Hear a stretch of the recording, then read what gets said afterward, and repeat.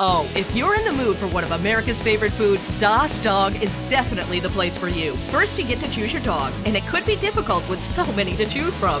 Next, choose your bun. I know, decisions, decisions, but there's more. You get to pick your toppings. You could be a purist or be super creative. Stop in and take your taste buds on a wild adventure. Nothing goes better with a Das Dog than an ice cold craft beer and a big old scoop of ice cream. Das Dog on US Highway 1, Jupiter.